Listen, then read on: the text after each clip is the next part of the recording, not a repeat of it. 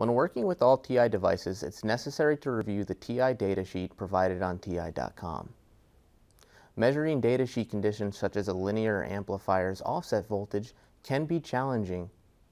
In today's training, we're going to cover how to quickly test the datasheet offset voltage of a linear amplifier as specified by the electrical test conditions provided within the datasheet.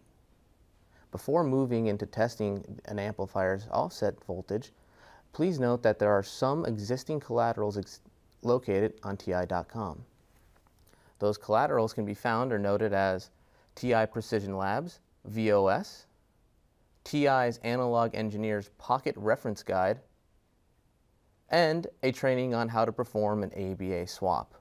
In addition, TI provides free simulation software known as TINA TI, which can be downloaded from the web address provided. There are various datasheet parameters of an amplifier which can be verified. To make this process more efficient, there are test loops we can utilize to test amplifier datasheet conditions. An example of a test loop that we'll utilize in this training is the false summing junction. The schematic of the false summing junction is provided in the upper right-hand portion of the screen. The false summing junction has various benefits, such as its simplicity and its small form factor. This is mainly due to the reason that there's only four resistors required to measure the majority of DC parameters for an amplifier. Offset voltage is defined as the differential input voltage required to force the output to mid-supply.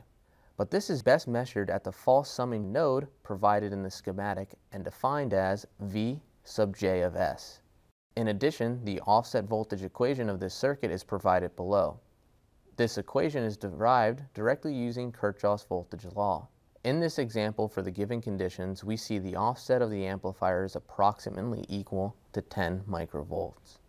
Before working on a real-world example, it's best to simulate the circuit in TINA TI.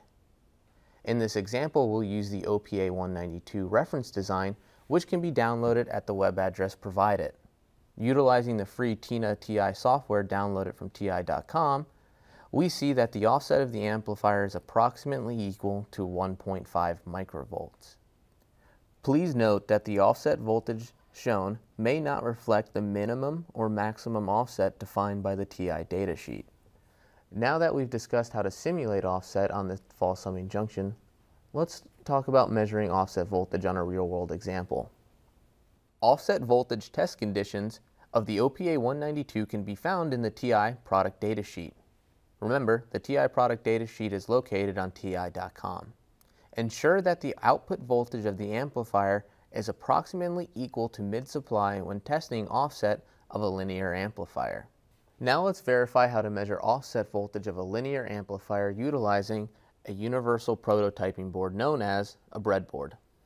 In addition, we'll need a power supply and a digital multimeter to measure the offset voltage of an OPA 192. In this example, we've set up our OPA 192 in the false summing junction circuit. We will be measuring the voltage at this node shown here. Using a spreadsheet, we can calculate the approximate offset voltage based on the measured value on the digital multimeter. In this example, we see the voltage at the false summing junction node is under 300 microvolts. We will use 283 microvolts for this example.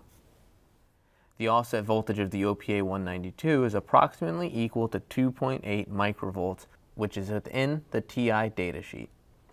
In summary, I've shown you how to measure the offset voltage of a linear amplifier as outlined by the TI datasheet. It's necessary to reference the TI datasheet when working with all TI devices. TI datasheets can be found on TI.com. Thank you for watching this troubleshooting video on how to measure the offset voltage of a linear amplifier.